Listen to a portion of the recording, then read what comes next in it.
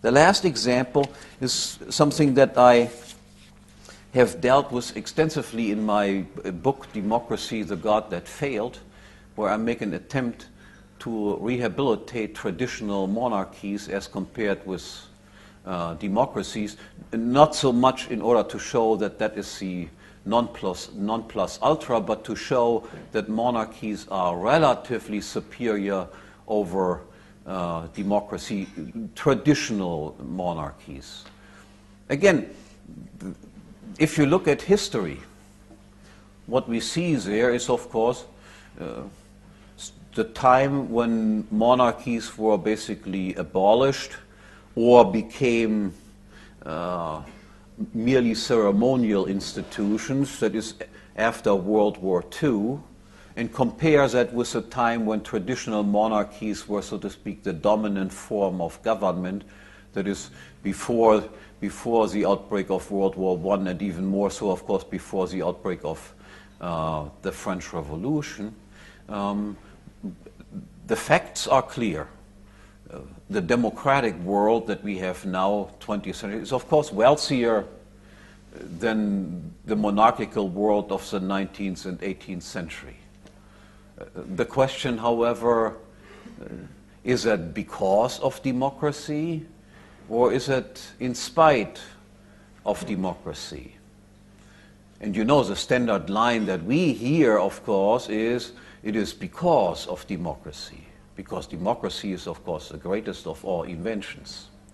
Um, interestingly, by the way, this is a very new phenomenon that people believe in this nonsense.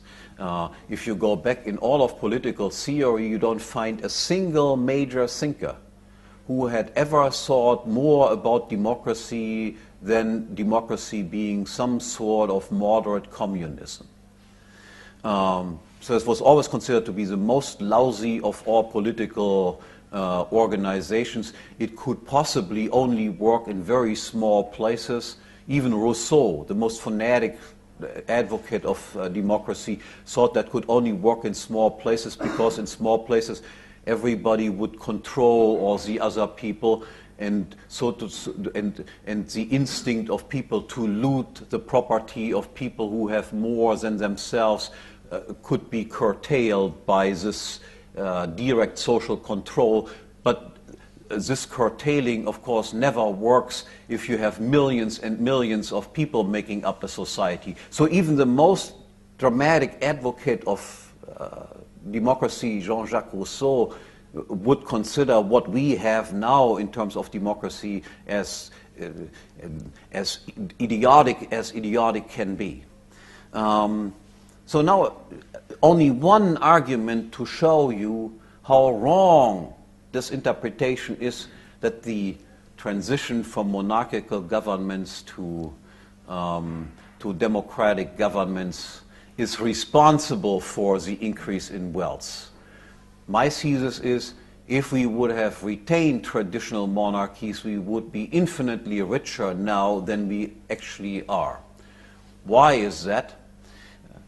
from an economic point of view, the transition from traditional monarchs to uh, democratic rulers is nothing else but the trans transition from somebody who regards the country as his own property to somebody who regards the country um, uh, as something of which he is the temporary caretaker. He is not the owner, he just takes care of it for a certain period of time.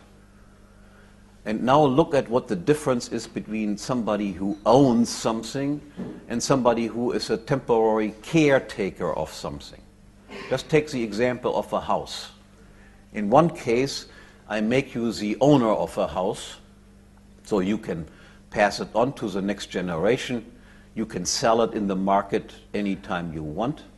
And in the other case, I make you a temporary caretaker of the house. You cannot determine who will be the next caretaker, and you are not entitled to, to sell the house in the market and, and retain the income that you receive from the house yourself. Now, will that make a difference in terms of how you treat the house, or in the example of kings and uh, democratic politicians, how you treat the country? And the answer is, of course, that makes a difference as day and life, uh, day and night.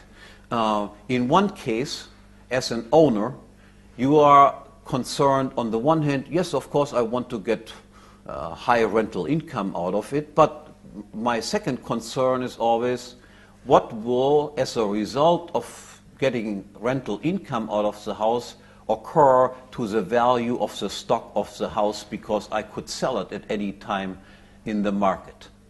Um, you, would want, you would not want to engage in capital consumption, for instance. Um, you would not want to increase your rental income at the expense of a more than proportional drop in the value of the house. You also are by and large interested in passing on to the next generation something that uh, has at least retained the value, is possibly even more valuable than you, when you inherited it. This is what most parents do. Um, what do temporary caretakers do? Temporary caretakers don't own the capital stock. Their interest is I have to draw as much of current income out of this piece of capital, regardless of what will happen to the value of the capital stock. Even if the house afterwards is a ruin, but I have drawn a tremendous outcome, income out of it, then from my point of view, this is of course a great advantage. I must loot the country as fast as possible because what I don't loot now, I will not be able to loot in the future. Um, the king does not have an attitude, I must loot the country as fast as possible, because if I don't loot it as fast as possible, uh, I will not be able to do it in the future. As a matter of fact, if he doesn't loot it as much, the value of his country will be higher and his heirs will get something better. Uh, just look, for instance, at the attitude that kings had vis-a-vis uh, debt that they incurred to the attitude that democratically elected caretakers have towards debt that they incur. Kings were by and large held responsible for the debt. Um, even their heirs were, not in all cases, but in many cases, considered to be liable for the debt incurred by their, uh, by their parents.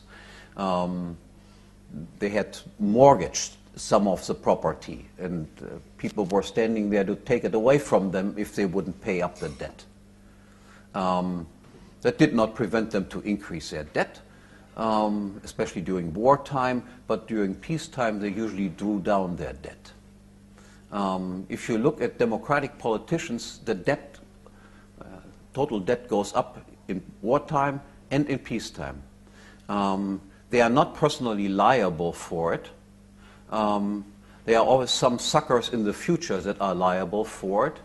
You would be literally stupid if you don't go continuously into debt, as our politicians, of course, all do, because the money that you take in, you can give out, you make plenty of friends, and um, uh, in the long run, we are all dead. Uh, who cares what happens in the future? Um, so, democratic politicians are short run people. They are like little children, as I explained in my lecture about time preference. I have to have the fun right now. Um, whereas kings tend to be behaving more like adults do. That there are sometimes exceptions, I will not deny, but there is a fundamental structural difference. If we would have never introduced democracy, but would have stayed and kept traditional monarchies with strong powers of the monarch, our standards of living would be infinitely higher uh, than they currently are. To this result, you can also only come if you use economic theory. An historian would never come up with this idea. An historian just simply looks at 19th century poor, 20th century rich, 20th century democracy, 19th century monarchy, accordingly monarchy, monarchy crap, democracy great. That's it. That's how historians operate. And I'm telling you, for somebody interested in economic theory, uh, history is a minefield of ridiculous interpretations over and over and over. They report the facts right, but the interpretations that they give is sometimes you roll in bed and can't stop laughing. Okay, thank you very much.